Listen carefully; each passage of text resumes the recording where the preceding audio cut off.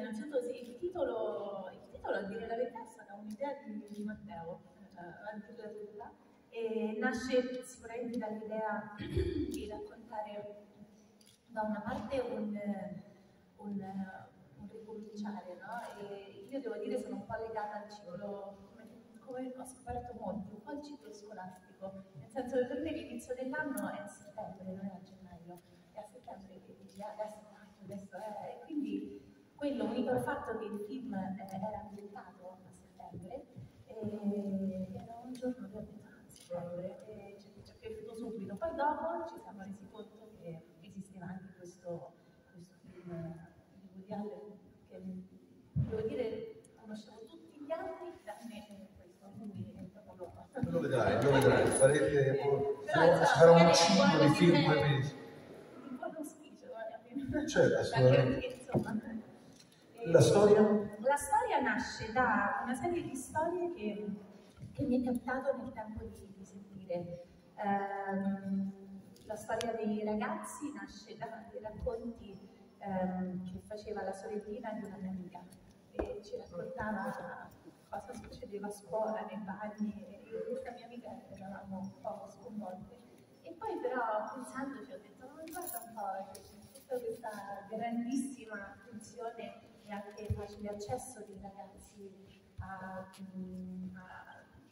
a certi temi e poi invece il fatto che di fondo c'è sempre l'emozione, i sentimenti di imbarazzo e quelli sono universali, sono gli stessi, per esempio provavo io alla loro età e, e quindi mi piaceva proprio raccontare l'attrito ehm,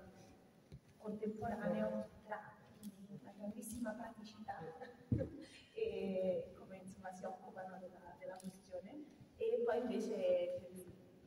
i sentimenti universali che sono sempre quelli e che, eh, in cui spero tutti possano aver riconosciuto i loro adolescenti eh, del passato. E la storia delle donne invece nasce da un, da un racconto che ho sentito a tavola con amici miei, c'era questo amico che era sconvolto perché questa storia era successa a un suo amico, e la moglie, la migliore amica storica, hanno lasciato i mariti e hanno detto di prendere loro una casa e loro l'altra. Allora l'ho trovata estremamente divertente perché queste storie viste dall'esterno sono, sono veramente trovo estremamente inquietante per certi versi, essendo dall'altra Esatto, io infatti non ero inquietato, non credo che me l'avevi raccontato, però vedendolo dall'esterno mi aveva anche Fa fatto anche ridere un no? po'. cioè. E poi niente, la storia invece di, di, di Bentivoglio, di questa giovane ragazza, è più un, ehm, un'idea che sai, vivi in una grande città, ogni volta che esci fuori da Roma, eh, vedi queste ragazze, ti chiedi.